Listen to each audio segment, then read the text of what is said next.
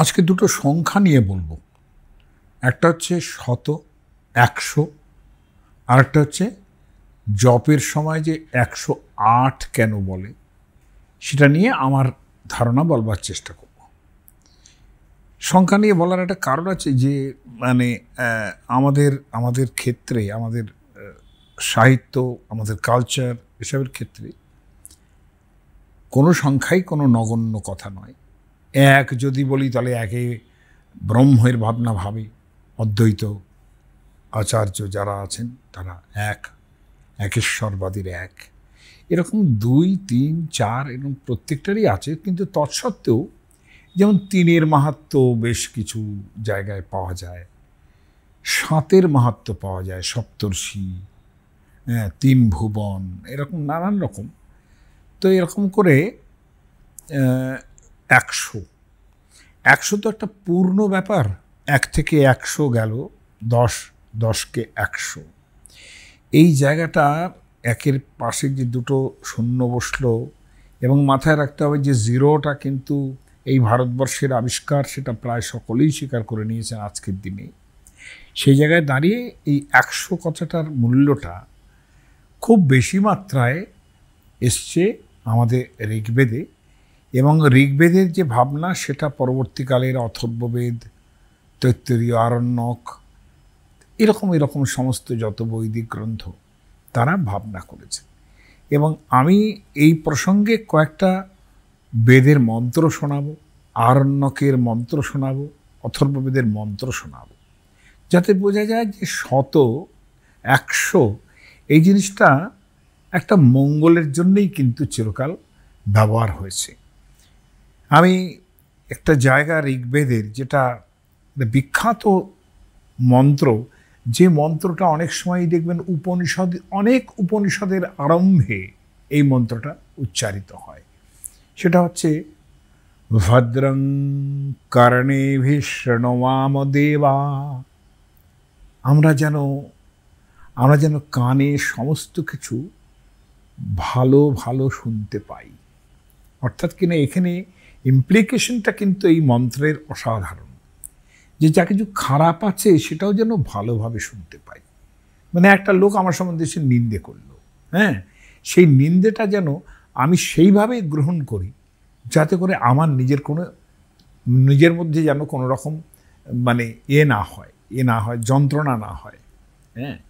এইটা হচ্ছে ভালোভাবে কানে শোনা হ্যাঁ? ভদ্রম পশ্যেমাক্ষভীর যত্রা যজত্র যজত্র এখানে বহু বচনে আছে যজত্রা মানে দেবতারা। যাদের যজমানরা যজ্ঞ করেন নানানবিধ আহুতি দিয়ে, তিনি হচ্ছেন যজত্র, অর্থাৎ তিনি দেবতা। দেবতার কাছে প্রার্থনা হচ্ছে, ভদ্রম পশ্যেমাক্ষভীর যত্রা আমরা যেন চোখে সমস্ত কিছু সুন্দর দেখি। খারাপ না দেখি কিছু। কোনো জিনিসকে আমরা যেন খারাপ না দেখি, সুন্দর করে দেখি যেন। স্থিরই রঙ্গই, স্থিরই অঙ্গই। অঙ্গ যেটা আমাদের আছে, যেন চপল না হয়, স্থির হয় যেন। স্তুষ্ট স্তুষ্টবাংশস্তনুভি। আমরা আমরা যেন সেই দেবতাকে তুষ্ট করতে পারি, সমস্ত ইন্দ্রিয়কে আমরা নিজের মধ্যে সংযত করে স্থির অঙ্গেতে তাকে যেন যেন তুষ্ট করতে পারি। এটা বসেম দেবহিত, তনুভীর বসেম দেবহিতং যথায়ু। হ্যাঁ? এবং আমরা, আমাদের যত আয়ু আছে সেই সেই পর্যন্ত যেন সমস্ত কিছুটা তার কাছে দেবহিত যারা, যা, দেবতার হিত যারা, অর্থাৎ দেবতার হিত কিন্তু আমরাই তৈরি করতে পারি, সেটা যেন আমরা বসেম, প্রাপনুয়াম। এই কথাটার মধ্যে একশোর কিছু ব্যাপার নেই। কিন্তু এত সুন্দর একটা মন্ত্র ভদ্রঙ্করণে ভীষ্ণাম দেবা এটার পরেই একশোর কথাটা আসে কীরকম করে।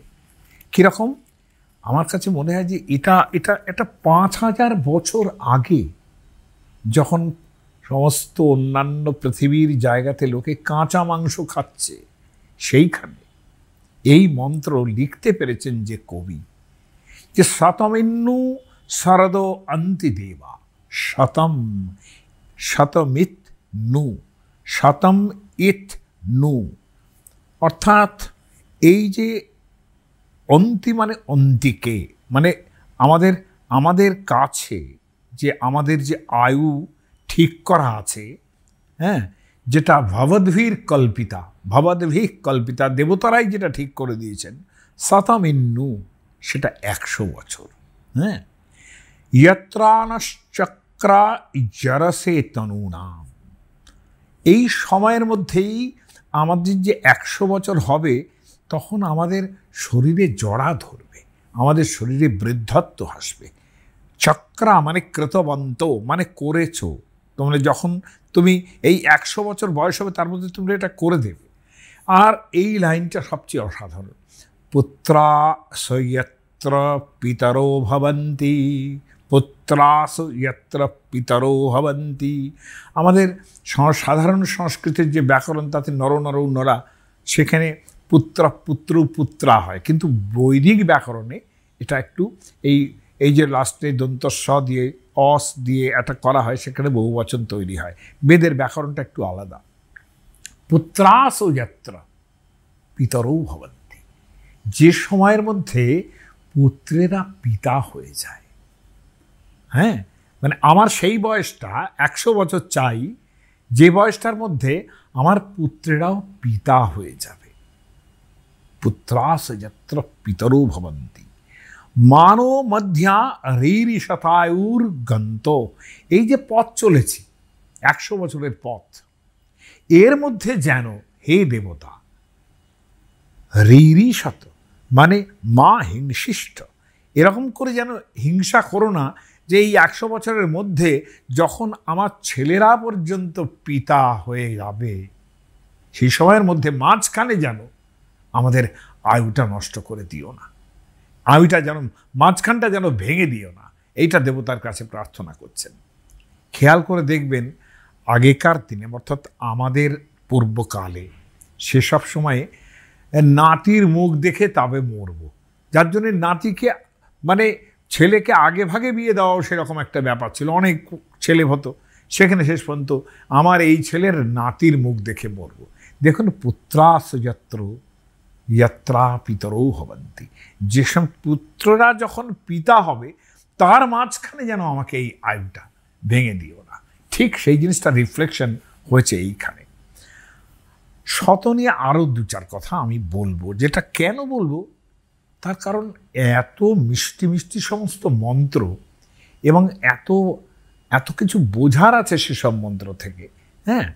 এখানে ঘটনা হচ্ছে যে একজন রাজা, ভাবয়ব্য বলে একজন রাজা, তিনি সিন্ধু প্রদেশের রাজা। তার মানে বুঝে নেবেন যে এই মন্ত্র, এই এই যে মন্ত্র দর্শন করেছেন ঋষি, সেটা কিন্তু ভারতবর্ষে প্রবেশের আগে, সিন্ধু অঞ্চল যেখানে সেইখানে। সেইখানে তার রাজার নাম হচ্ছে ভাবয়ব্য। সেখানে বলছেন যে, ঋষির নাম হচ্ছেন কক্ষিবান তিনি বলছেন যে, অসুর রাজা, অসুর। অসুর বলতে কিন্তু আমরা সবসময় দেবতাদের উল্টো ভাবি, অর্থাৎ অসুর ডেমন্স ভাবি। আমি এর আগেও কোনো সময় যখন অসুরের এপিসোড তৈরি করেছিলাম তখন বলেছিলাম যে অসুর মানে কিন্তু দেবতা আসলে। যেটা আমাদের যে জেন্দ আবেস্তা, সেখানে কিন্তু এই দন্তস্বটা হ হয়। যেমন দন্তস্ব হ হয়ে হিন্দু হয়েছে সিন্ধুটা সেই রকম দন্তস্বটা হ হয়ে যায় বলে আহুরা আহুরা, ওরা বলেন আহুরা। এই যে আহুরা এবং অসুর মানে কিন্তু দেবতা। একেবারে পরবর্তীকালে এইটা হয়েছে যে সুর মানে দেবতা আর না সুর, অর্থাৎ ন সুর, তিনি হচ্ছেন অসুর। এটা একেবারে পরবর্তীকালের বিভাজন, একেবারে পূর্বকালে এবং এই মন্ত্র বরুণকেই বরুণকেই বহুবার বরুণ দেবতাকে অসুর বলা হয়েছে। এখানে বলছেন অসুর রাজা, দেবতা প্রতিম এক রাজা। তিনি আমাকে গ্রহণের জন্য অর্থাৎ একটা যাগ, যজ্ঞ করছেন তিনি সেই যজ্ঞ করার জন্যে আমাকে ডেকেছেন। আমি কক্ষিবান ঋষি আমাকে ডেকেছেন এবং আমার কাছ থেকে হ্যাঁ আমাকে তার কাছ থেকে তিনি কি জন্যে গ্রহণ করেছেন আমাকে? তিনি আমাকে বলেছেন শতং রাজন নাধমানস্য নিষ্কা। নাধমানস্য মানে আমি যে আমি যে স্বীকার করছি, আমার এই, আমি আপনার যজমান হব। এই যে স্বীকার করছি, এই স্বীকার করার জন্যে এখনকার দিনেও দেখবেন কন্ট্রাক্ট হয় প্রফেশনালি স্বীকার করল আচ্ছা এত টাকা অ্যাডভান্স দিলাম। এখানে অ্যাডভান্সের প্রশ্ন আসছে না, এখানে সবটাই আগাম। আগে দিয়ে তারপরে কথাবার্তা। হুম অ্যাডভান্স নয়। তাহলে এই যে যাচমান হয়েছেন স্বীকার করেছেন যজ মানে যাজন কর্ম, তার জন্য সেই অসুর রাজা, তার কি হয়েছে, তিনি কি করেছেন? মানে তিনি আবার সচেত সা দীপ্য মানস্য তিনি একদম দীপ্ত তার রূপ হ্যাঁ? শতং রাজন নাধ মানস্য নিষ্কা। কিন্তু নিষ্ক মানে হচ্ছে তখনকার দিনে সোনার যেটা সবচেয়ে ছোট ইউনিট, একটা টুকরো, সোনার টুকরো যাকে বলে হ্যাঁ? সেটা তৎকালীন দিনের সোনার একটা ইউনিটকে বলা হতো নিষ্ক হ্যাঁ?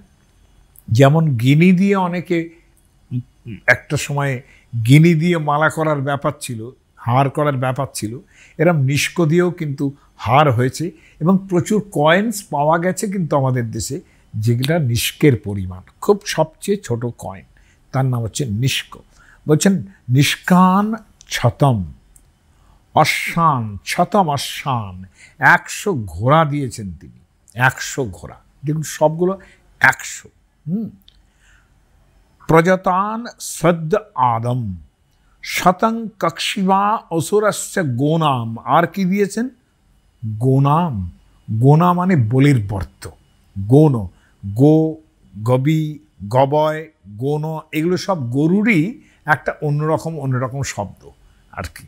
যাদের গরুরই একটাখানে ক্লাস, কতগুলো ক্লাস, কতগুলো প্রকার, তাদের বলা হচ্ছে গোনা। গোনা মানে বলির বর্ত মানে বলদ। বুঝেছেন তো? আমরা ষাঁড় বলছি না তাহলে বৃষ বলা হতো। কিন্তু বলদ, তার মানে চাষের কাজে লাগে। হ্যাঁ? তাহলে একশো বলদ দিয়েছেন তিনি। এটা এটা নিয়েছেন তিনি কক্ষিবান ঋষি এবং বলছেন, আমি আমি এটা নিয়ে বেশ তুষ্ট, অজর, অর্থাৎ জরাগ্রস্ত নই, এই অবস্থায় আমি আছি। এইটা বলার চেষ্টা করছেন। দেখুন, এইখানে শত শব্দের টিকা করার সময় সায়নাচার্য লিখলেন কি? যে শতম সহস্রম ইত্যপরিমিত বচন। এই কথাটা বলাতে চাইছি। যে শত কথাটা কিংবা সহস্র কথাটা যখনই বলা হচ্ছে, তাহলে অপরিমিত। হ্যাঁ? শয়ে শয়ে লোক এসেছে, আমরা যখন বলি।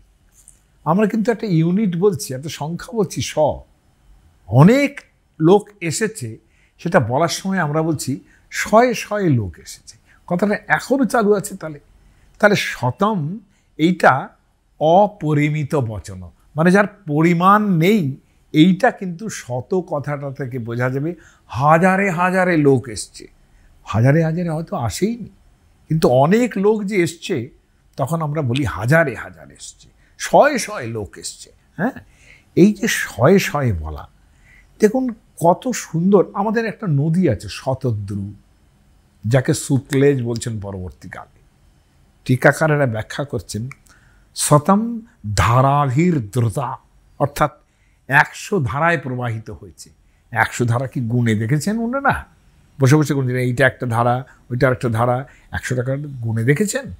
তার মানে শতদ্রু নদী প্রথম যখন নামছে মর্তভূমিতে, হিমালয় থেকে সেই জায়গাটা থেকে যে শত সহস্র যে উপলখণ্ড তার ধারা, ধারাগুলো সব ভেঙে ভেঙে যাচ্ছে।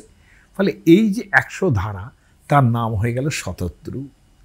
কি বিউটিফুলি এক্সপ্লেনেশন যে অপরিমিত বচন, অর্থাৎ শব্দের এই শত শব্দটা, সহস্র শব্দটা, লক্ষ্য করে দেখবেন আমরা যখন আজকাল আজকের দিনেও নারায়ণ শালগ্রাম শিলার স্নান করাই, আমরা একটা মন্ত্র উচ্চারণ করি। শীর্ষা পুরুষ সরস সহস্রাক্ষ সহস্রপাত, যার একশোটা মাথা আছে, যার একশোটা পা আছে এবং সহস্রাক্ষ, যার এক হাজারটা চোখ আছে। কৌটিল্য যখন ইন্দ্রের সভা বর্ণনা করছেন মিথিক্যাল একটা সভার বর্ণনা করছেন, তিনি সেই জায়গায় বলার চেষ্টা করছেন যে ইন্দ্রকে সহস্র চক্ষু বলা হয়। এর জন্য একটা পুরো গল্প তৈরি হয়েছে রামায়ণে। রামায়ণে দেখবেন, খেয়াল করে যখন অহল্লার মানে সতীত্ব ভঙ্গ করলেন, আচার্য দ্রো, আচার্য গৌতম বাইরে গেছেন, গৌতমের স্ত্রী অহল্লা ঘরে রয়েছেন, সেই সময় ইন্দ্র এই তার গৌতমের রূপ ধরে, শিষ্য, গৌতমের শিষ্য ইন্দ্র হ্যাঁ? গৌতমের রূপ ধারণ করে জটা টটা সব গায়ে লাগিয়ে তিনি এসে অহল্লাকে ভোগ করলেন এবং লক্ষণীয় রামায়ণ কিন্তু বলেছে যে এই অহল্লা কিন্তু ইন্দ্রকে চিনতে পেরেছিলেন। কিন্তু শুষ্ক, রুক্ষ মুনির ঘরের বউ তার এই স্খলনটা হলো এবং সেইটা রামায়ণে যত মনে আছে আমার, সেখানে বলছেন যে রতিং চকার দুর্মেধা দেবরাজ কুতূহলাত দেবরাজের রতি কীরকম?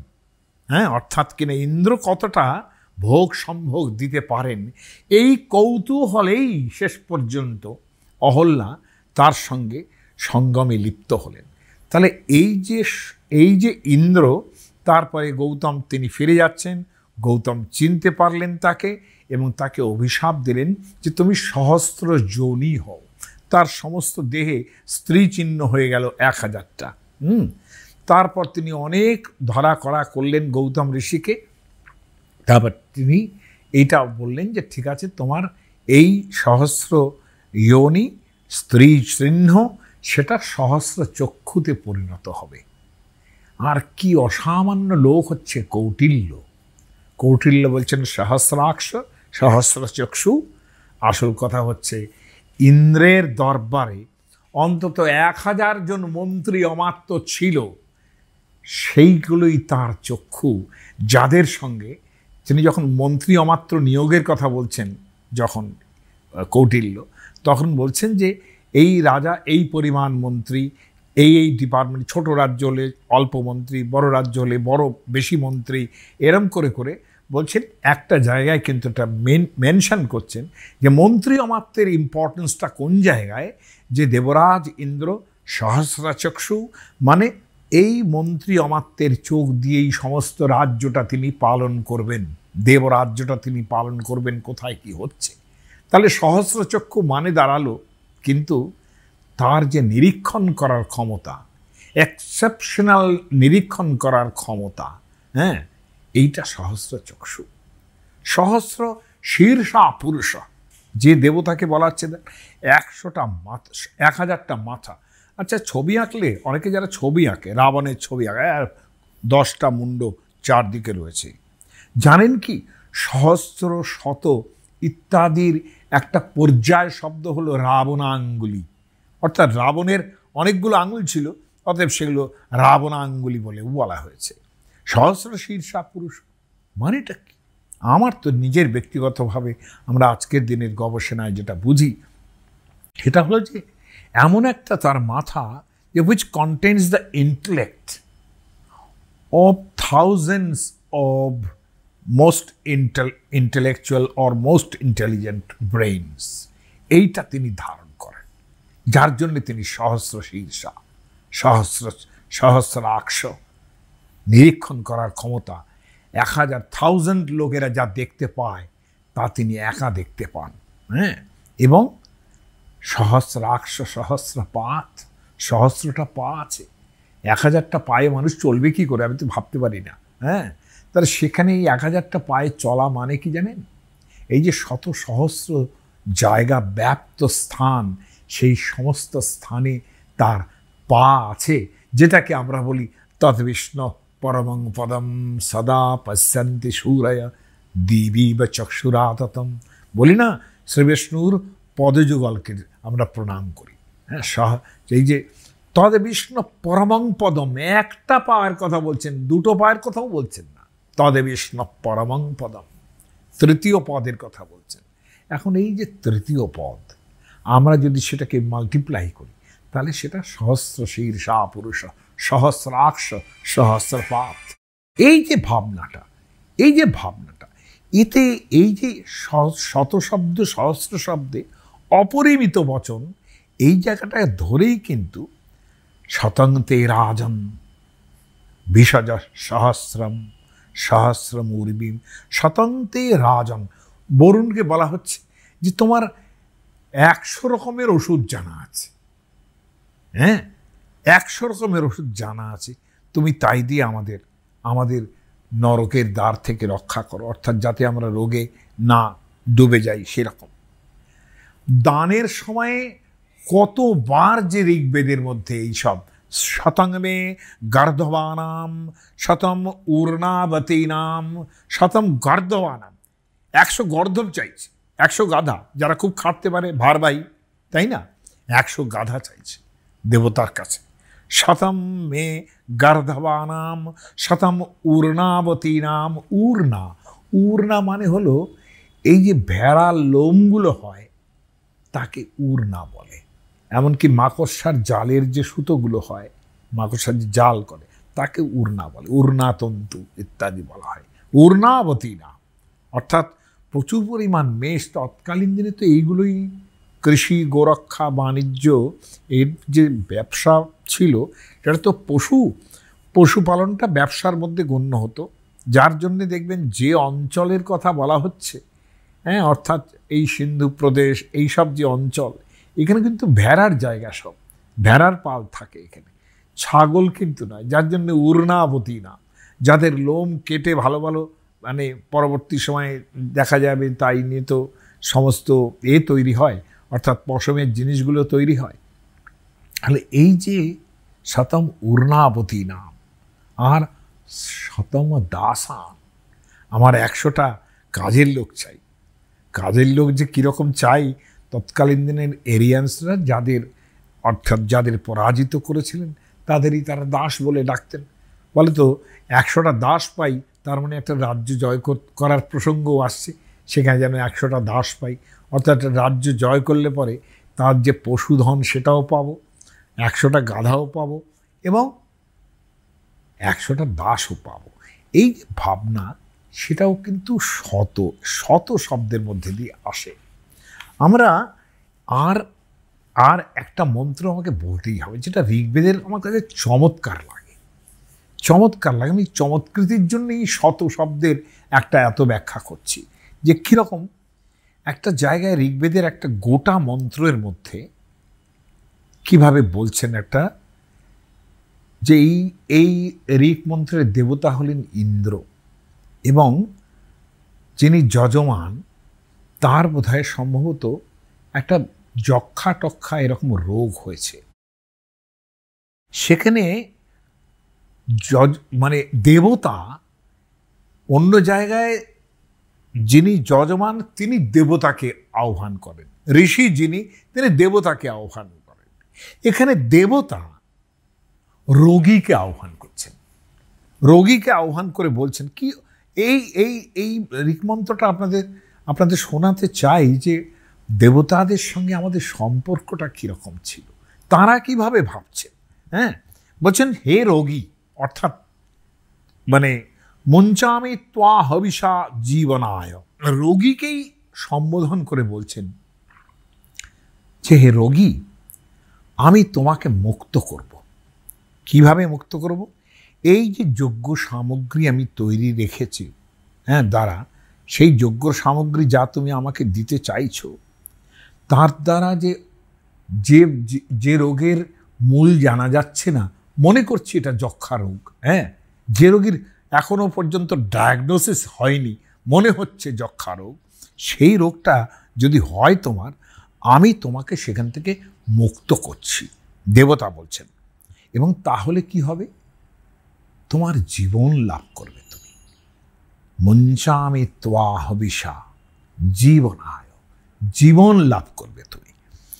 এবার এবার তার ফোর্সটা দেখাচ্ছে। যদি ক্ষিতায়ুর যদি বা পরে তো, এমন যদি হয় যে তোমার আয়ু ক্ষীণ হয়ে গেছে রোগের ফলে। যদি বা পরে তো, এমন যদি হয়, ইত, ই ধাতু মানে যাওয়া। যার থেকে প্রপূর্বক ই ধাতু মানে প্রেত, অর্থাৎ চলে যায়। এটা প্রেত বললেন না, ইনি বললেন পরে তো অর্থাৎ পর প্লাস ইত, অর্থাৎ পরে তো অর্থাৎ চলে যাচ্ছ প্রায়। হ্যাঁ অর্থাৎ যার আয়ু ক্ষীণ হয়ে গেছে তোমার তোমার এমন যদি হয় যে তোমার, তুমি চলেই যাচ্ছ, এরকম অবস্থা হয়ে যায়।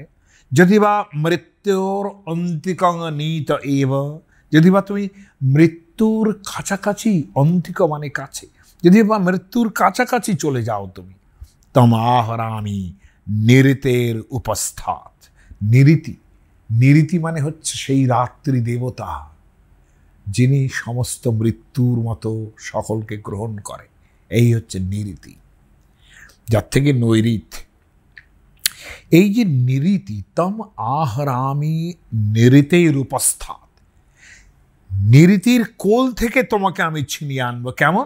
স্পার্শম। আমি এমন তোমা ভাবে তোমাকে স্পর্শ করব, নিরীতির কোল থেকে তোমাকে ছাড়িয়ে আনব এবং কিসের জন্যে? জীবনায় শত সারদায় তোমার একশো শরৎ জীবনের জন্য তোমাকে ফিরিয়ে আনব। ভাবা যায়, শত সারদায়, শত, একশো। আমি বারবার বলছি, শত কথাটা মঙ্গলের জন্য এতবার ব্যবহার হয়েছে তা বলা যায় না। আবার বলছেন সহস্রাক্ষেন শত সারদিন, তোমাকে এক হাজার চক্ষু দেব। এক হাজার চক্ষু, রোগীকেই দেবেন তার মানে চক্ষুর যে চক্ষুষ্মত্তা, যে জ্যোতি যা মরণকালে যক্ষারও হয়েছে তার একেবারে একেবারে একেবারে স্কিন হয়ে আসছে। তাকে সহস্রাক্ষ, সহস্র চক্ষুর চক্ষুষ্মত্তা, জ্যোতিষ্মত্তা তোমাকে দেব। শত সারদিন সেটাও একশো বছর, শত বারবার শত শত। আয়ুষা হবিষা হার জমিনম, আর একশো বছরের আয়ু দেব তোমাকে। শতেং শতং জাথি এবং শরদ নয়াতি। যাতে করে তুমি একশো বছর বাঁচো, বিশ্বাস্য দুরিতস্য পারম। সমস্ত পাপ যত হয়েছে তোমার, তার পারে যাতে তুমি চলে যেতে পারো। শতং জীব, শরদ বর্ধমান।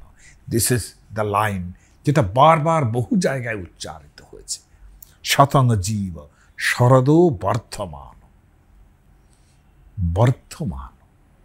আমাদের যে আমাদের যে একটা, আমাদের যে শরীর, আমি শরীর নিয়ে তো ভগবত গীতা বলার সময় বহুবার বলেছি, শরীরের একটা ব্যাপার থাকে কীরকম, ওরা একটা প্রসেস বলেন। বলেন যে, জায়তে ছটা প্রসেস হচ্ছে, ষট বিকার, স্থূল শরীরের ছটা বিকার। কীরকম? জায়তে জন্মগ্রহণ করে, অস্থি একটা এক্সিস্টেন্স তৈরি হয়, তাই না? জায়াতে, অস্থি, বর্ধতে। তারপর বাড়তে থাকে শতঙ্গ জীব শরদ বর্ধমান। হ্যাঁ বাড়তে থাকে। তারপর পরিণামতে, আস্তে আস্তে পরিণাম লাভ করে। তারপর অপক্ষীয়তে, আস্তে আস্তে ক্ষীণ হতে আরম্ভ করে, নশ্বতী। তারপর শেষ হয়ে যায়। এই তো প্রসেস ষড়বিকারম স্থূল শরীরম শঙ্করাচার্য ইত্যাদিরা বলছেন এইটা। তারে কি দাঁড়াল? জায়তে অস্থি যেই জন্মালাম অস্থি আমি খানিক্ষণ পৃথিবীতে আছি। অস্থি তারপরে বর্ধতে বাড়ছি। মাগো, আমি বাড়ছি মামি। হ্যাঁ এইরকম আর কি। বাড়ছি বর্ধাতে। তারপর পরিণামতে। আস্তে আস্তে পরিণাম তৈরি হচ্ছে শরীরের। হ্যাঁ তারপর অপক্ষীয়তে। যেটা বাড়লো, সেটা ক্লাইম্যাক্সে গেল তারপর আস্তে আস্তে কিন্তু সেটা অপক্ষীণ হতে শুরু করবে। চল্লিশের পর চালসে পড়বে, তারপরে চশমা নেবেন, তারপরে আস্তে আস্তে আস্তে আস্তে আস্তে আস্তে পরিণামগ্রস্ত হওয়ার পর অপক্ষীয়তে ক্ষীণ হতে আরম্ভ করলাম, তারপরে নশ্বতী। নেই। এই তো শরীর, স্থূল শরীরের এই চেহারা। সেখানে শতঙ্গ জীব শরদ বর্ধমান বাড়তেই থাকো তুমি। একশো বছর ধরে শুধু বাড়তেই থাকো। কি আশীর্বাদ ভাবা যায় না। শতম হেমন্তান, ছতমু বসন্তান। তুমি একশো হেমন্ত দেখো, একশো বসন্ত দেখো তুমি। কি অসামান্য এই মন্ত্রগুলো, আমি ভাবতে পারি না। সেই কালে শতম ইন্দ্রাগণী সবিতা বৃহস্পতি, ইন্দ্র অগ্নি সবিতা বৃহস্পতি, তারা শতায়ুষা, হবিষে এবং পুনর্তু। এই সমস্ত দেবতারা যেন একে একশো বছর আয়ু দেন। আমি এই মন্ত্রগুলো কেন বলছি আমি জানি না। একশো তো আপনারা সবাই জানেন। তবু বলছি যে বৈদিক মন্ত্র কি অসামান্যভাবে এইগুলো ব্যাখ্যা করেছে।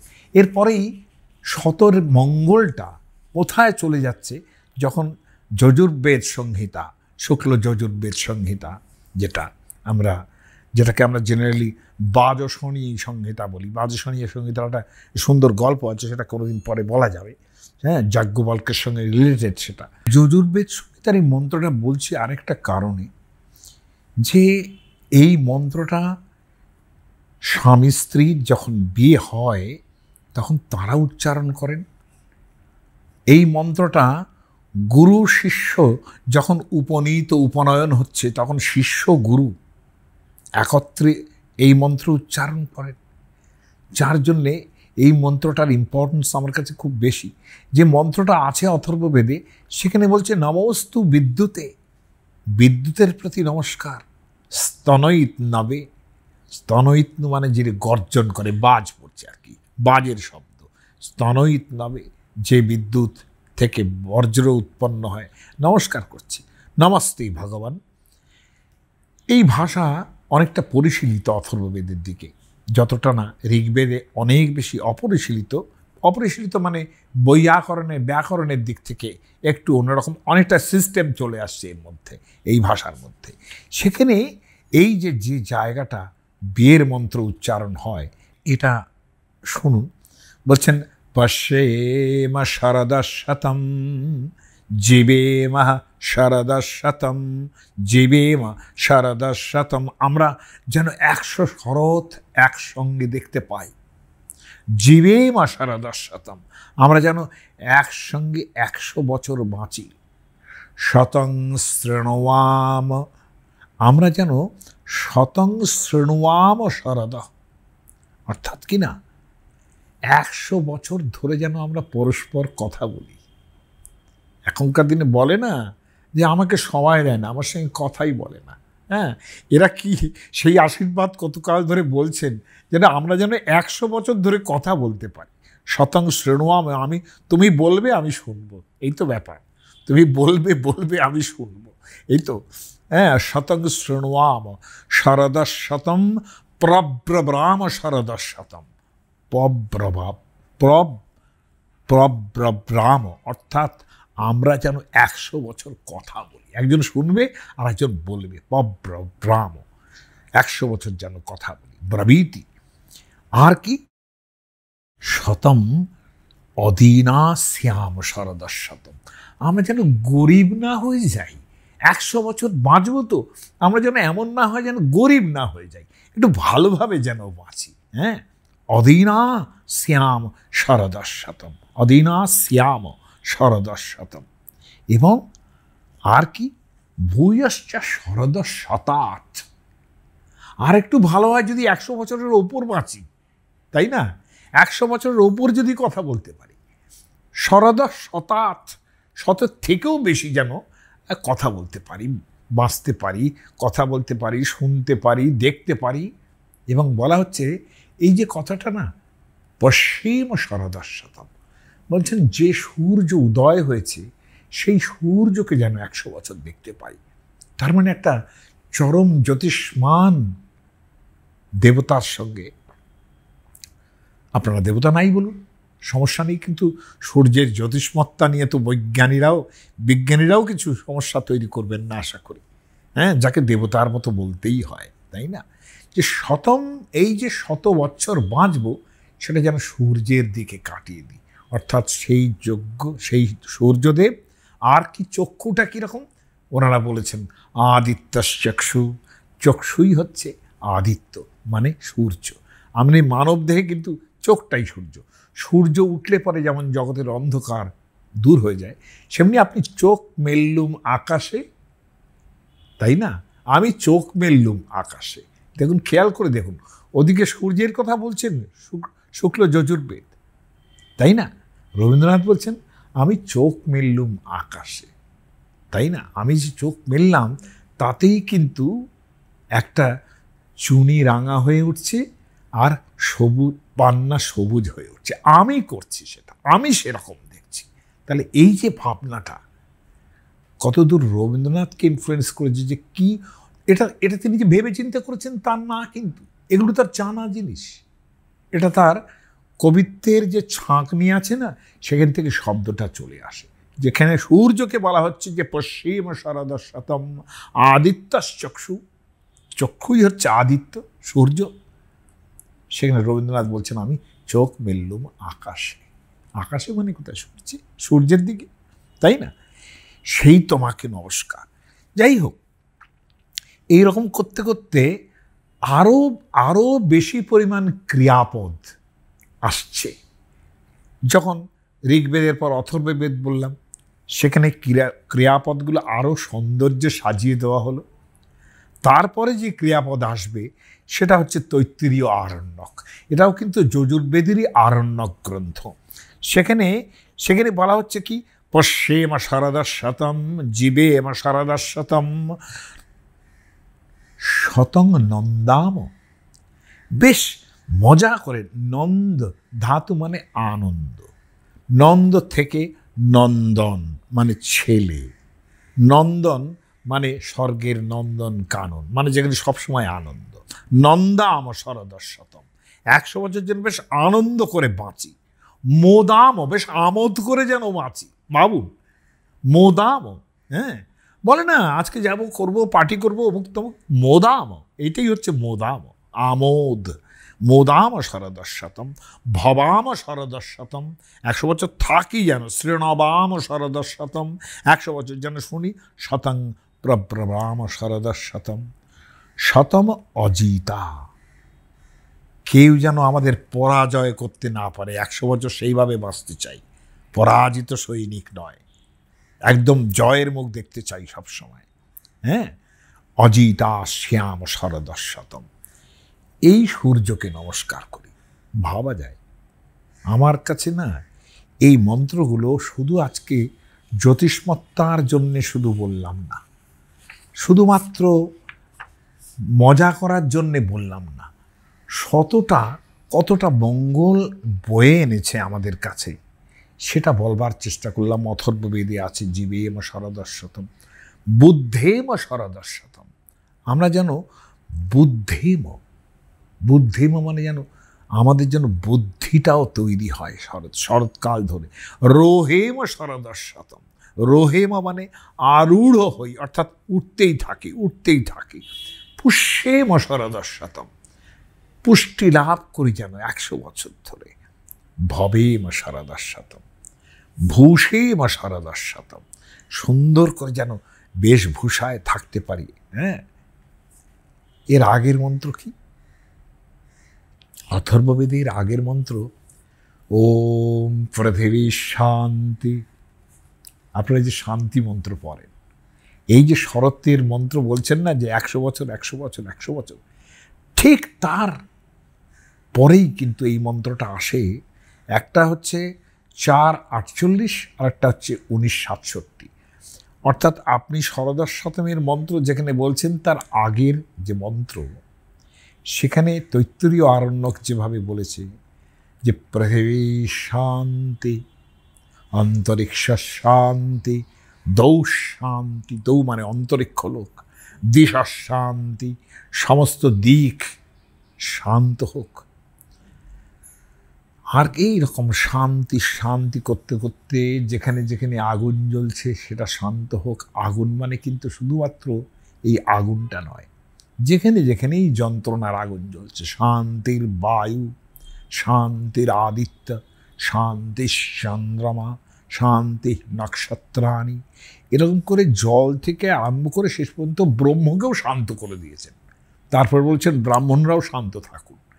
এই রকম করতে করতে যে শান্তি চেয়েছি, সেখানে খুব বড় একটা মঙ্গলের জায়গা কিন্তু এই একশো বছর একশো বছর একশো বছর মানে একশোর ওপরে। শত মানে সহস্র মানে আরও আরও বেশি। এইখান থেকেই আমরা কিন্তু, আমরা যে ধ্যান মন্ত্রে, আমরা যে জপ করি, এইখান থেকে যেতে চাই। দেখুন, একশোর ওপরে জবটা কীরকম? জব জিনিসটা হচ্ছে ভগবত গীতার যে বিভূতি যোগ, যেখানে বলছেন অমুকের মধ্যে আমি অমুক, মাসানাং মার্গ শীর্ষস্মি আমি মাসের মধ্যে মার্গ শীর্ষ মাস মধ্যে মার্গ শীর্ষ আপনি ভগবান। তাই না? এই যে মাসানাং মার্গ শীর্ষস্মি বলছেন, ফুল্লরার বারো মাস সাহেব এই কথাটা যেটা বললাম। এরকম একটা একটা করে বলছেন। কবি নাম উষণা কবি, জ্ঞানী পণ্ডিতদের মধ্যে আমি শুক্রাচার্য। এরকম করতে করতে বিভূতি যোগ বলছেন। সেখানে বলছেন যে, যজনানাং জপ যজনৌষ্মী আমি যজ্ঞগুলোর মধ্যে, আমি হচ্ছে জপযজ্ঞ। জপযজ্ঞ অর্থাৎ জপটা একটা যজ্ঞ হিসেবে চিহ্নিত হচ্ছে। আমরা আগের কালের যে যাগ যজ্ঞগুলো করেছি, বৈদিক টাইমে দেখুন সেটা কিন্তু পর্যবসান ঘটছে। যখন থেকে এক ব্রহ্ম, এক ভগবান ইত্যাদির সূত্র তৈরি হয়েছে। ঔপনিষদিক ভাবনায়, ব্রহ্মের ভাবনা যখন আবার এক দেবতার মধ্যে এসে পড়েছে, যিনি বিষ্ণুকে জানেন তিনি আমার একমাত্র বিষ্ণুই সব, যিনি শিবকে জানেন আমার শিবই সব, যিনি কালীকে কিংবা দুর্গাকে জানেন আমার কালী মাতাই সব, এই একত্ব কিন্তু এসছে। এরা কিন্তু বহু দেবতার উপাসক নন। তার মানে এদের ভেতরে সেই ব্রহ্মভাবনাটা রয়েই গেছে। এই এক দেবতার জন্যে কিন্তু যাগ যজ্ঞের যে ভাবনাটা ছিল, সেটা কিন্তু ধ্যানের জায়গায় চলে এলো, সেটা অনুধ্যানের জায়গায় চলে এলো এবং সেটা কিন্তু জপের জায়গায় চলে এলো, অর্থাৎ নাম জপের জায়গায় চলে এলো।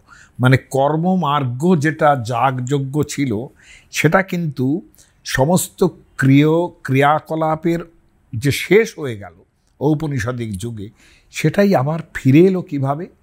যাগযজ্ঞ অনুধ্যানের মধ্যে, অর্থাৎ মন্ত্রোদ্দিষ্ট দেবতা মন্ত্র বর্ণের মধ্যে তাকে অনুধ্যান করা। তার কথা ভাবা। তার না? আমি কালী কালী জপছি মানে কিন্তু কালীর মূর্তিটা ভাবছি মনের মধ্যে একই সঙ্গে। নাম আর নামই অভেদ, যেটা চৈতন্য চরিতামৃত থেকে বহু জায়গায় প্রমাণিত হবে। আমি রাম নাম জপছি। রাম নাম জপ করতে করতে, মরা মরা জপ করতে করতে বাল্মীকি কোথায় চলে গেলেন? এ কথা তো আমাদের কৃত্তিবাসী রামায়ণেই আছে, তাই না?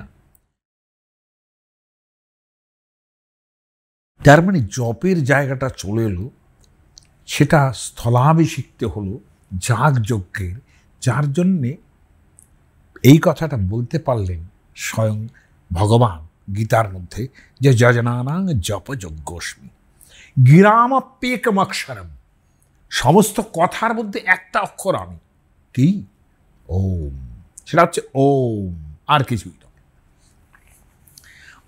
পরিষ্কার বলছি, জপের যে বিধি, সেই জপের মধ্যে প্রথম যুগে যখন ঔপনিষদিক ভাবনার পরে জপের সৃষ্টি হয়েছে, তখন গায়ত্রী মন্ত্র জপের ভাবনাটা ছিল। খেয়াল করে দেখুন। সেখানে মন্ত্র ভাবনা যে ছিল, আমাদের যেমন পৈতের সময় যখন সন্ধ্যা করতে হয়, তখন কিন্তু বলছে, তুমি দশবার গায়ত্রী মন্ত্র জপ করতে হবে দশবার যশে কমে না। তার মানে আপনি একশোর একটা ভাগ পাচ্ছেন দশবার জপ করতে হবে। একদম জেনে বুঝে জপ করতে হবে সেটা।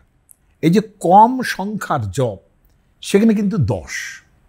মিনিমাম দশ। আমি দশবার গায়ত্রী মন্ত্র। এখন এই দশবার গায়ত্রী মন্ত্র যখন জপ করছে, তখন কিন্তু গায়ত্রী মন্ত্রের কত ব্যাহৃতি মানে পূর্ব পশ্চিম আছে। ওম ওম বলতে হবে, ভূর ভুব, এই ভূর ভুবস্ব, এইগুলো হচ্ছে ভূর ভুবস্ব ইত্যাদি যে সমস্ত লোক, ভূর লোক, ভুবর লোক স্বরলোক ভূর্ভুবস্ব এই স্ব পর্যন্ত বললেন। এগুলো ব্যাহৃতি, অর্থাৎ আমি বলব এক্সটেনশন এগুলো না বলে গায়ত্রী করা যাবে না।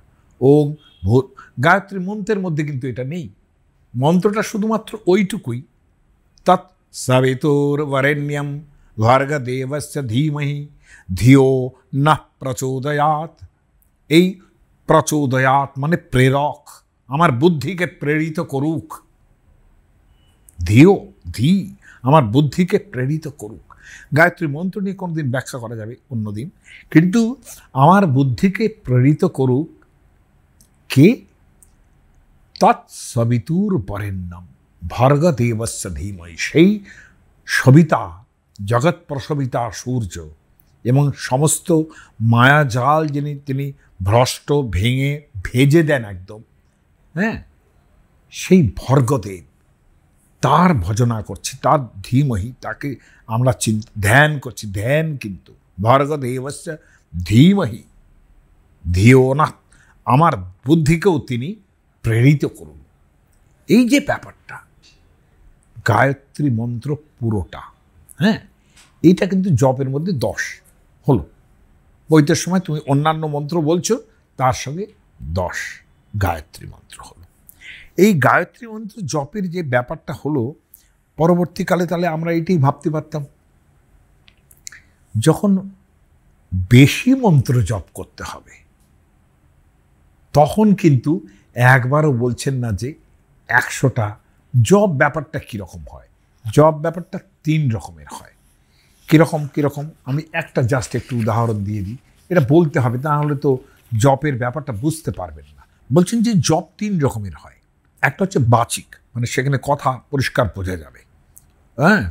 যেরকমভাবে আমরা গান করি, ওং নামাজ শিবায় নামাজ শিবায় হ্যাঁ? এইরকম আপনি কিন্তু মন্ত্র জপ যেরকম হয়, সেরকম স্তবগুলোও জপ হয়, সেটাও জপ। জপতি মানে তো কথা বলা, তাই না? জপতি মানে কিন্তু কথা বলা। এখন এই কথা বলা, এই নমস্তে শরণ্যে শিবে সানুকম্পে, এও কিন্তু জপ। আপনি জপ করছেন। কেউ হয়তো রাস পঞ্চাধ্যায় জপ করছে। কেউ হয়তো গোপী গীত জয়তি তেধিকম জন্মনাব্র গান করছেন, সেটাও জপ, জপতি। কিন্তু এই যে জপতি, এই বাচিক শব্দটা, এটা এক প্রকারের জপ। সেটা মন্ত্র জপ হতে পারে, সেটা হরিনাম জপ হতে পারে, অন্যান্য গান সেটাও জপের মধ্যেই কিন্তু পড়ে। কিন্তু আর একটা কী বলছেন যে, জপম আবর্তয়ং স্তুষ্ণিম, নসতাং কিঞ্চিদব্রবিত একটা ব্যাপার আছে যে, জপ যারা করেন, তাদের যে মাহাত্ম, মহাভারতের মধ্যে একটা গল্প আছে, খুব সংক্ষেপে বলি। সেখানে আছে জাপকোপাখ্যান আমার তো ওই কথায় যদি মহাভারত একবার আসে তো একটু না বলে পারি না। জাপকোপাখ্যান সেখানে গায়ত্রী দেবী এই ভদ্রলোক জপ করে। জাপক, তার নাম হয়ে গেছে জাপক, অর্থাৎ জপ করে। তার অন্য নাম নেই। এতটাই নাম নেই, কেন নাম নেই? জাপক। দিন রাত জপ করছে। জপ করতে করতে একসময় গায়ত্রী দেবী তাকে দেখা দিলেন। গায়ত্রী দেবী সামনে এসে দাঁড়ালেন। তার প্রশংসা করলেন যে, আমি তুষ্ট হয়েছি। এরকম অবস্থাতেও তার জব বন্ধ হলো না। গায়ত্রী দেবী দ্বিতীয়বার তাকে ধাক্কালেন যে, আমি এসেছি, তুমি যাকে চাইছো এতদিন জব করে, আমি এসেছি। এবার তোমার জব শান্ত হোক, তুমি কি চাও তুমি বলো। জাপক ব্রাহ্মণ, এই জন্যই তার নাম জাপক। সে বলল, আপনি যদি প্রসন্ন হয়ে থাকেন, যদি চাপি প্রসন্ন আসি যদি প্রসন্ন হয়ে থাকেন, তাহলে জপে মেয়ে রমতা আঙমানো আমি যেন আরও জপ করতে পারি। বাবা যায়। একজন জাপক ব্রাহ্মণ ওই জন্যই নাম হয়েছে যে জপ করতে করতে গায়ত্রী দেবী তাকে বলছেন, তুমি কি চাও বল? আমি সব তোমাকে দিদি রাজি আছি। সে বলল, না, আমি জপে এমন মজা পেয়েছি, এত আনন্দ পেয়েছি যে আমি যেন আরও জপ করতে পারি। জপ্যং প্রতি মমচ্ছেয়ম বর্ধে বর্ধাতু ইতি পুনঃ। সে বলতে আরম্ভ করল, আমার যে জপ্য বলে, আমি তো এসে গেছি, তুমি আমার জপ্য যিনি তুমি যার জপ করছ, তিনি জপ্য আমি গায়ত্রী দেবী, আমি এসে গেছি। কিন্তু তুমি সেটা কিছু চাইছো না। তুমি কি চাইছো? যে জপ্যং প্রতি মামা, মামেচ্ছেয়ম বর্ধতু ইতি পুনঃ পুনঃ মনসস্য সমাধির মেয়ে বর্ধতে আহার শুভে। দিন রাত যেন আমি শুধু জপই করতে পারি। বোঝো টেলা এই মৃত্যুর পর এর যে অবস্থা হয়েছিল, যে নানান রকম জম থেকে আরম্ভ করে নানান রকম লোক টোক সব আসতে আরম্ভ করল, সেসব কিছুই হলো না। শেষ পর্যন্ত তাতে একদম পরব্রহ্মে তার সমাধি লাভ অর্থাৎ সাজুজ্য মুক্তি ব্রহ্মের সঙ্গে তিনি একাকার হয়ে গেলেন। আমি জপের এই মহিমার মধ্যে যাচ্ছি না। প্রণব উচ্চারণ, প্রণব, গায়ত্রী একই শব্দ, আমি তার মধ্যেও যাচ্ছি না। শুধু এইটুকু বলি যে তিন রকমের যে জপ আছে, যে বাচিক জপ, সেখানে কথাটা কিন্তু শোনা যাবে। মানে ত্রিবিধ জপযজ্ঞস্যাত তস্য ভেদ নিবোধত। তার ভেদ জানার চেষ্টা করো। বাচিকশ্চ, উপাংশুশ্চ মানসস্ত্রিবিধৌ মত অর্থাৎ বাচিক, উপাংশু এবং মানস বাচিক জপ বললাম, আমি আর শ্লোক দিয়ে বলতে চাই না, যেটা কথা শোনা যাবে। যেটা বাচিক, আমি মন্ত্র গান থেকে আরম্ভ করে সব কিছু বললাম। উপাংশটা কি?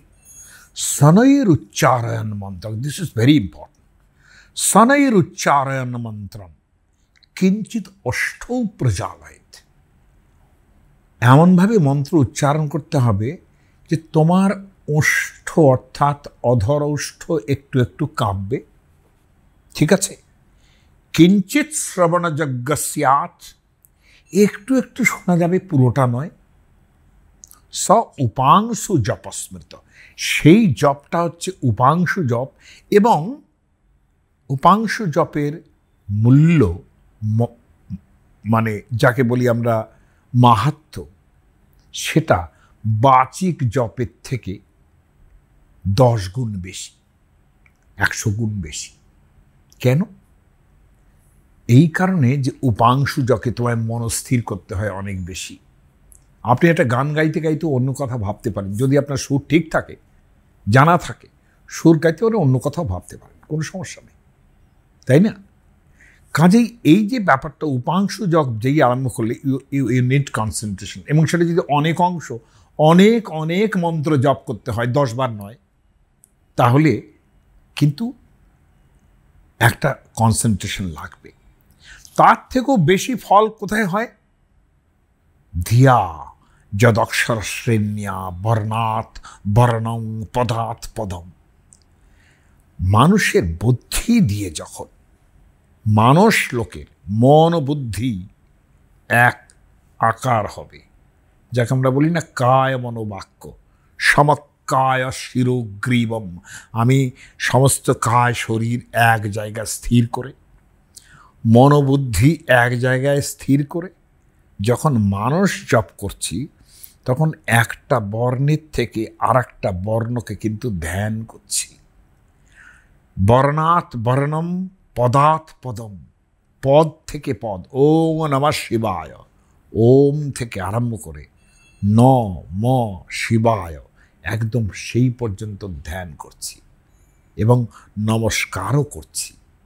আমার মনে আছে, আমার গুরু নারায়ণ গোস্বামী বলেছিলেন যে তৎকালীন দিনে মানে তাঁরও আগের কালে, যখন চিঠি লেখা হতো, আমরা চিঠিতে লিখি না, লিখতাম যে, অমুককে আমার প্রণাম দিও, আর তুমিও আমার প্রণাম নিও। এইটা লিখতাম।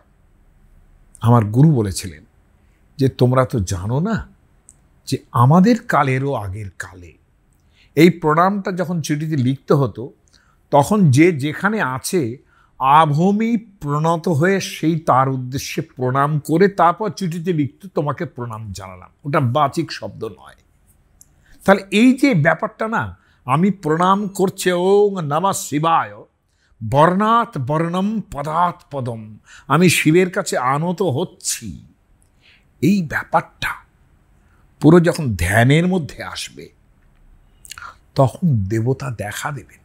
দিনের পর দিন এই ধ্যান করতে করতে, অবনত হতে হতে, সারেন্ডার করতে করতে যখন অনুধ্যানের মধ্যে তিনি আসবেন, বলছেন, মানুষ জপের যে ফল শত সহস্র গুণ, এটা সকলে পারেই না।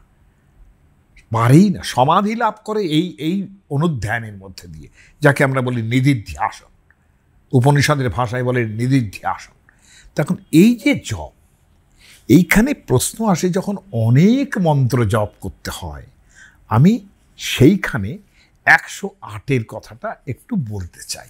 সেটা কীরকম দেখুন, একশো আট কেন? এই প্রশ্নটা কিন্তু অনেকের মধ্যে আছে। একশো আট কেন? Why one zero two one zero eight why একশোর ওপরে অন্য যে কোনো সংখ্যা একশো এক হতে পারত। একশো দুই, তিন, চার, পাঁচ হতে পারত? কেন নয়? আমি এইটা একটু ব্যাখ্যা করি এবং সেটা একটা উদাহরণ দিয়ে বলি। আপনারা হরিদাস ঠাকুরের নাম শুনে থাকবেন। জবন হরিদাস যিনি চৈতন্য মহাপ্রভুর পার্শ্বদ ছিলেন। হরিদাস ঠাকুরের অভ্যাস ছিল দিনে তিন লক্ষ নাম করা। এই যে তিন লক্ষ বলছি, এই তিন লক্ষটা স্বাভাবিকভাবে একটা মালার মাধ্যমে করতে হয়। একটা মালা যেটার মধ্যে একশো আটটা গুটি থাকে এবং একটা সুমেরু থাকে। সুমেরু মানে একটা একটা কমণ্ডলুর মতো দেখতে একটা গুটি লাস্টে থাকে। মানে এই দিক থেকে মালা জপতে জপতে ওই দিকে একটা একটা করে জবের মাধ্যমে যাবে। দিয়ে আবার উল্টো দিক থেকে শেষ করে আসতে হবে, যেখানে সুমেরু একটা উঁচু জিনিসটা, সেই জায়গাটায় থেমে আবার উল্টো দিকে আসতে হবে একশো আটবার একশো আটটা গুটি থাকে সেখানে। একশো আট গুটি কেন সেটা পরে আসছে? কথাটা হচ্ছে, তিন লক্ষ বার হরিদাস ঠাকুর দিনে হরে কৃষ্ণ হরে কৃষ্ণ করেন। মানে হরে কৃষ্ণ মানে কিন্তু ষোলো নাম, বত্রিশ অক্ষর। হরে কৃষ্ণ হরে কৃষ্ণ কৃষ্ণ কৃষ্ণ, হরে হরে। হরে রাম হরে রাম রাম রাম, হরে হরে। এই যে বত্রিশ অক্ষর, ষোলো নাম, বত্রিশ অক্ষর, তাই না? এখন এই ষোলো নাম, বত্রিশ অক্ষর তিনি জপ করেন তিন লক্ষ বার, এবং সেটা একবার হরিদাসের গুণ, সবে কহে পঞ্চমুখে। তিন লক্ষ শুনিয়া, তিন লক্ষ নাম ঠাকুর করেন কীর্তন, নামের মহিমা উঠাইল পণ্ডিতের গণ। এখন নামের মহিমা নিয়ে কি চর্চা হচ্ছে আমি তার মধ্যে যাচ্ছি না। হরিদাস ঠাকুর বৃদ্ধ হয়েছেন। সেই সময়টার কথা বলছি। বহু, অনেক দিন হয়ে গেছে তিনি পুরীতে যদি এখনও যান হরিদাস ঠাকুরের সমাধি, আপনারা দেখতে পাবেন। সেখানে বোধহয় মোস্টরাবলি একটা একটা গাছ আছে, হয় বকুল গাছ, যদ্দূর আমার মনে পড়ছে, এবং সিদ্ধ বকুল বলা হয় তাকে। হরিদাস ঠাকুরের সমাধি সেখানে আছে, এবং সাগর থেকে একটু পারে উঠলে পরেই ওখান থেকে গিয়ে হরিদাস সমাধি, হরিদাসের সমাধিতে যাওয়া যায়। এই যে হরিদাস সমাধি, তিনি জগন্নাথ মন্দিরে অত যেতেন না ওই ওই পাড়েই থাকতেন এবং তিন লক্ষ হরিনাম। একদিন গোবিন্দ, মহাপ্রসাদ লইয়া, গোবিন্দ মানে মহাপ্রভুর একেবারে আত্মচর সবসময় মহাপ্রভু দেখাশোনা করেন যিনি, গোবিন্দ। স্বয়ং তার মহাপ্রভুর গুরু তাকে দিয়েছিলেন, তাকে সেবা করার জন্য। একদিন গোবিন্দ মহাপ্রসাদ লইয়া হরিদাসে দিতে গেল আনন্দিত হইয়া। এসব আমরা কীর্তন করেছি একবারে রামদাস বাবাজির যেসব সুর থাকে। হরিদাস নির্যান, সেখানে এইসব থাকে। এখন সেখানে গোবিন্দ তাকে দিতে গেছেন। কি দেখছেন তিনি? দেখে হরিদাস ঠাকুর করিয়াছেন শয়ন দিনের বেলা শুয়ে পড়েছেন, বসে থাকতে পারেননি। মন্দ মন্দ করিতেছেন সংখ্যা সংকীর্তন। গোবিন্দ কহে, উঠি আসি, করহ ভোজন। বলে, তুমি এসে প্রসাদ এনেছি, মহাপ্রসাদ জগন্নাথের, খাও। হরিদাস কহে, আজি করিমু লঙ্ঘন। লঙ্ঘন মানে আজকে লঙ্ঘন মানে আমি উপবাস দেব। লঙ্ঘন মানে উপবাস। মাথায় রাখুন। আয়ুর্বেদ শাস্ত্রে বলে, জরাদৌ লঙ্ঘনং পথ্যম। বলে, প্রথম যদি জ্বর আসে না দাপিয়ে জ্বর আসে। লঙ্ঘনং পথ্যম। আগে কিছু না খেয়ে থাকো, সেটা হচ্ছে পথ্য। প্রথম পথ্যটা ওটাই জরাদৌ লঙ্ঘন। লঙ্ঘন মানে উপবাস। বলে, হরিদাস কহে, আজি করিম লঙ্ঘন। সংখ্যা কীর্তন নাহিপুরে কেমনে খাইব? আমার তিন লক্ষ নাম পড়েনি, আমার শেষ হয়নি। আমি খাব কি করে? খাচ্ছেন তো বিকেল বেলায়। জগন্নাথের প্রসাদ হতে হতে বিকেল হয়ে যায়। কেমনে খাইব? আমি তো খেতে পারব না এটা। কিন্তু মহাপ্রসাদ, মহাপ্রসাদকে সবসময় সম্মান করতে হবে এমনভাবে যে প্রাপ্তি মাত্রে এনে ভক্তব্যম। পেলেই খেতে হবে। মহাপ্রসাদ নিয়ে পরে কথা বলা যাবে একদিন পাওয়া মাত্র খেতে হবে মহাপ্রসাদ। কিন্তু ইনি খেতে পারলেন না, ইনি কি করলেন? এত বলি মহাপ্রসাদ করিল বন্দন। তিনি বন্দনা করলেন মহাপ্রসাদকে, যে তুমি মহাপ্রসাদ এসেছ আমার বাড়িতে। এক রঞ্চ লইয়া তার করিল ভক্ষণ, এক ফোঁটা উঠিয়ে তিনি খেলেন। সম্মান করা হলো মহাপ্রসাদকে, সেটাও তিনি ইয়ে করতে পারেন না। আর দিনে মহাপ্রভু তার ঠাই আইলা। মহাপ্রভু একদিন এসছেন তার কাছে। গোবিন্দের কাছে শুনেছেন তার কি অবস্থা? শুয়ে পড়েছেন প্রায়। তিনি এসে, সুস্থ হও হরিদাস। তাহারে পুছিলা। তুমি সুস্থ আছো তো? হরিদাস বলছেন, শরীর সুস্থ হয় মোর, অসুস্থ বুদ্ধি মন। বুদ্ধি মন, খেয়াল করুন। আমি বললাম, না, অনুধ্যান, মন এবং বুদ্ধি একত্র হতে হয়। শরীর সুস্থ হয় মোর অসুস্থ বুদ্ধি মন প্রভু কহে, কোন ব্যাধি? তোমার ব্যাধিটা কি? এত অসুবিধে হচ্ছে? কহ তো নির্ণয়। বলো, কি হয়েছে তোমার? তিহ কহে, সংখ্যা সংকীর্তন না পুরয়।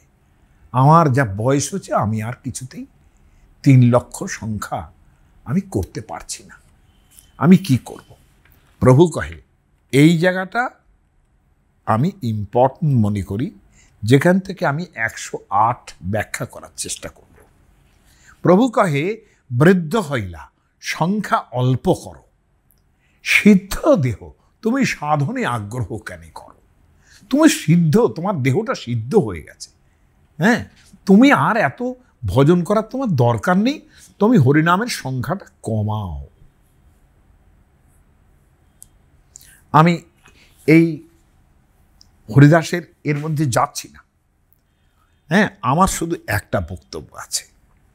এই যে কথাটা যে একশো আট কেন? এ নিয়ে আমি বিভিন্ন জায়গায় পড়াশোনাও করেছি কিছু। এই অনেকেই বলছেন যে এই পৃথিবীর সঙ্গে সূর্য, তার যে তার যে হুইলটা হয়, তার সঙ্গে সূর্য, এর সঙ্গে মেপে, তার ডিস্ট্যান্সের সঙ্গে তার এত মাপ এই সব করবার চেষ্টা করেছেন অনেকে। আমার কাছে ঠিক লাগেনি। আমার কাছে অনেক সায়েন্টিফিক বেশি মনে হয়েছে এটা যে দেখুন, একশো আট কেন? ওয়াই নট হান্ড্রেড যিনি তিন লক্ষ নাম করছেন, তাহলে তো হান্ড্রেডেই হওয়া উচিত ছিল। ইনফ্যাক্ট ওটা বলেছেন মুখে যে তিন লক্ষ নাম। কিন্তু ঘটনা হচ্ছে, নাম যখন করছেন, তারা মালা ধরে করছেন যারা, তাদের একশো আটই করছেন এই কারণে যে আপনার যদি কোনো ক্রমে একটা ভুল হয়ে যায়, এইটা একটা কারণ। কোনো ক্রমে যদি ভুল হয়ে যায়, যে একটা মালা আমার জপা হলো না। আমি অনেককে দেখেছি মালা জপ করতে করতে কথা বলে। টিভি সিরিয়ালে দেখবেন মালা জপ করতে করতে সমস্ত কুচিন্তাগুলো মালা জপ করার সময় হয়। এইসব দেখবেন। মালা সামনে একটা ধরে আছেন। টিভি সিরিয়ালে অনন্ত দেখতে পাবেন। ওটাই কিন্তু লক্ষণ। মালা জপ করছে অন্য কথাও বলছে। তাতে কি হয়? মালা ভুল হয়ে যায়। এখানে অন্তত যাতে ভুল হলেও একশোটা হয়ে যায়, তার জন্য একশো আট।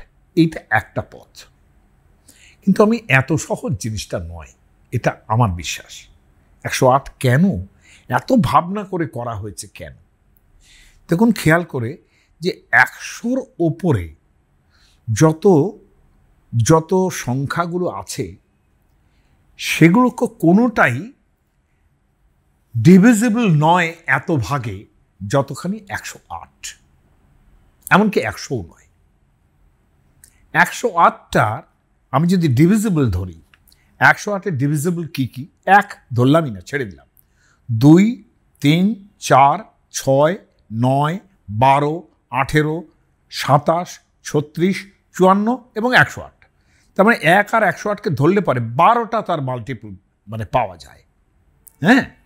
হয়রাজ একশোকে যদি ধরি, এক আর একশোকে যদি বাদ দিই, তাহলে দুই, চার, পাঁচ, দশ, কুড়ি, পঁচিশ, পঞ্চাশ এই ডিভাইড হবে। তাই না? এখানে সুবিধেটা কোথায়? সুবিধেটা এই এই যে বললেন মহাপ্রভু, যে বৃদ্ধ হইলা সংখ্যা অল্প করো। এখন যদি আমি ডিভাইড করি তাহলে দেখবেন একশো আটের ডিভাইড চুয়ান্ন, এটা হতে পারে। আপনি ছত্রিশ বার করতে পারেন, সাতাশ বার করতে পারেন, এতগুলো ডিভাইড শুধু একশো আটেরই হয়, একশো একের হবে না, একশো এক তো একটাই। একশো এক দিয়ে একশো এককে ভাগ করলে একশো এক পাবেন, আর কিছুই হবে না। তার মানে আপনি যে একশো টাকা যাকে দান করেন, একশো এক দিলে সেটা পূর্ণ হলো কিন্তু।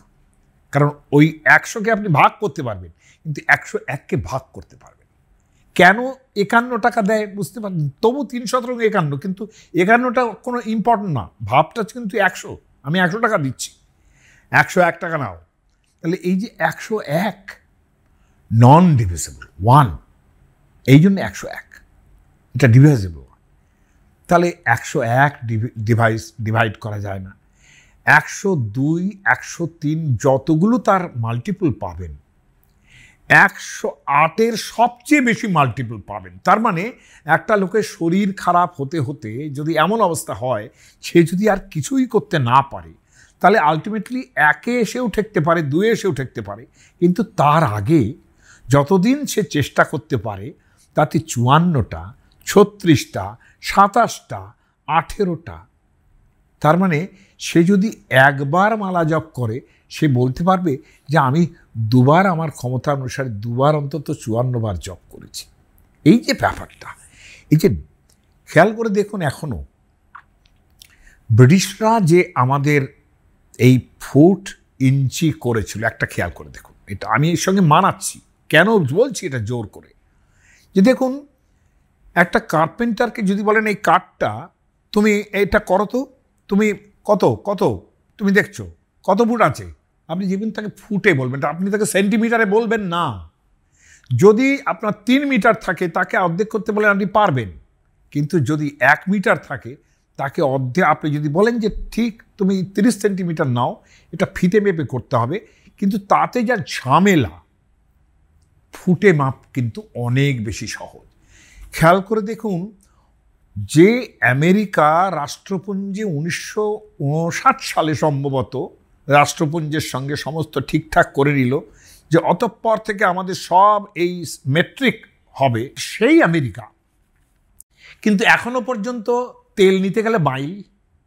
এখনও বলছে কত মাইল? কত মাইল চলে? আপনি এখনও দেখুন, গিয়ে আপনি এখনই আপনি গাড়িতে তেল ভরতে যান, কত মাইল চলবে? আপনি কিন্তু জেস করবেন না। অন্য মেট্রিক সিস্টেমে জিজ্ঞেস করবেন না। তাই না? তাহলে কত মাইল চলবে? একটা রাজমিস্ত্রিকে দিন, সে কিন্তু ফুটের হিসেব করবে। আপনি বাড়ি কিনতে যাবেন, আপনি বলবেন কত স্কোয়ার ফিটের বাড়ি? হোয়াই কেন কত স্কোয়ার ফিট আপনি স্কোয়ার মিটারে যাচ্ছেন না কেন? এত কাল পর্যন্ত কিন্তু এই স্কোয়ার ফিট এই বলে এসছেন। তাহলে ফিট ওই যে বারো ইঞ্চি, বারো ইঞ্চিতে এক ফুট হলো। ফুট খেয়াল করে দেখুন ফুট আর ফিট এই যে ব্যাপারটা, আমরা আমরা বলি, আমরা যখন জমি মাপতাম, আমি আগে কোনো এক সময় বলেছি যে একজন রাজা তিনি জমি দিতে চাইছেন দেব মন্দিরে, তিনি ছত্রিশ পদবর্ত ভূমি, তার মানে দেখুন এক ফুটে কিন্তু ফুট পা পদবর্ত ভূমি, এক ফুট মানে এক পা যাচ্ছেন। খেয়াল করুন আমাদের হিসেবটা কী ছিল? তাহলে পদবর্ত ভূমি এক পা, সেটাকে আপনি কিন্তু ফুটই বলছেন, ফিট বলছেন। ওয়াই তার মানে পায়ের মাপ থেকেই আসছে ফুট। তা কতটা ন্যাচারাল এটা, তাই না? সেখানে আপনি বারো ইঞ্চিতে এক ফুট, তিন ফুটে এক গজ সতেরোশো ষাট গজে এক মাইল করছেন। এখনও পর্যন্ত মাইলেই চালাচ্ছেন আপনারা। এই আমেরিকানদের উদ্দেশ্যে বলছি এটা। এখনও রুটি কিনতে গেলে পাউন্ডেই চালাচ্ছেন আপনারা। তাই না? এখনও পেন্স শিলিং এখনও পর্যন্ত ইংল্যান্ডে। অথচ বাইরের সমস্ত পৃথিবীতে আপনারা চালিয়ে দিলেন এই সেন্টিমিটার আর মিলিমিটার। কেন? ইজিলি ডিভিজিবল বারো, তিন এবং ওই যে একশো আট। খেয়াল করে দেখুন, বারোর সঙ্গেই কিন্তু একশো আট যাবে। এই যে ডিভিজিবিলিটিটা এই যে মাল্টিপলগুলো এতগুলো আসে, তাতে যখন প্রভু বলবেন যে হরিদাস, বৃদ্ধ হইলা, সংখ্যা অল্প কর। সংখ্যা যদি অল্প করতে হয়, হরিদাস ঠাকুরের কথা বলাচ্ছে, আমরা একটা পূর্ণভাবে বলছি তিন লক্ষ নাম করতেন। কিন্তু নাম যখন সংখ্যায় করছেন তিনি তিনি কিন্তু মালা ধরে একশো আটই করছেন, একশো আট। আপনি যদি হাজার আটে যান, একই ব্যাপার কিন্তু। দেখবেন যখন নাম ধরে কথা, অমুক বাবাজি আসছেন, একশো আট শ্রী। কেন একশো আট কেন? আপনি কম লিখলে কিন্তু ওই হাফ দিতে পারবেন, কিন্তু চুয়ান্ন কেউ লেখে না। একশোটার আমি বারবার বলছি, একশোর ওপরে, নব্বই তো হচ্ছে না। একশোর ওপরে যদি এমন কোনো সংখ্যা নির্বাচন করতে হয়, যেটাকে সবচেয়ে ভালো ডিভাইড করতে পারি অনেকগুলো মাল্টিপ্লে তাহলে সেটা একশো আট ই এবং হাজার আট ই, যাকে বলা হয় হাজার আটবার হরিনাম করতে হবে। হ্যাঁ এই যে হাজার আট, একশো আট, আমার মনে হয় এই ইজি মাল্টিপলসগুলো পাওয়া যায় বলেই সবচেয়ে বেশি ইম্পর্ট্যান্ট হয়েছে এই একশো আট। অন্য কোনো, দেখুন আমি বৈষ্ণবদের জিজ্ঞেস করেছি, আপনারা একশো আট বলেন কেন? ওরা ওদের মতো করে একটা বলে। বলে, আমরা বলি যে ওই একশো নাম হবে আর আমরা তো রাধারানীর দাসী আর কৃষ্ণের অষ্ট সখী আছে না, তার জন্যে একশো আট একশো আট। শাক্তদের জিজ্ঞেস করছি আপনারা রুদ্রাক্ষ মালা জপ করেন শৈবরা যুগ কি, কী করে আপনারা আটটা কি ধরেন? বলে আমাদের তো হ্যাঁ একশো আট কালীবাইয়ের নাম জপ করি, কিন্তু তার অষ্টযোগিনী আছে না? তার জন্যে অষ্টযোগিনীটা ওর মধ্যে আমরা ধরে নিই। শিবের ব্যাপারে অষ্টভৈরব আছে না? হ্যাঁ তার অষ্টভৈরব। তার চৌষট্টি চৌষট্টি যোগিনী তার আটটা নিচ্ছে। আর চৌষট্টি ভৈরব তার মধ্যে আটটা নিচ্ছে। অষ্টভৈরব, অষ্টযোগিনী, অষ্টসখী। আমি বলি যে সব ঠিক আছে। ওনারা এইভাবে হিসেব করুন। কিন্তু আসল হিসেবটা, এর ডিভিজিবিলিটি যার জন্যে এই মাল্টিপলটা এত বেশি আসে একশো আটে, একশোর ওপরে, এবং তার থেকে অনেক বেশি না যায়, এইরকম একটা যে সংখ্যা, সেটা একশো আট। এটা আমি একজন অত্যন্ত কাছের ভদ্রকের কাছ থেকে এই ইমাজিনেশনটা পেয়েছি। আমার মনে হয় খুব যুক্তিযুক্ত। এটা আপনারা ভেবে দেখবেন। সকলে ভালো থাক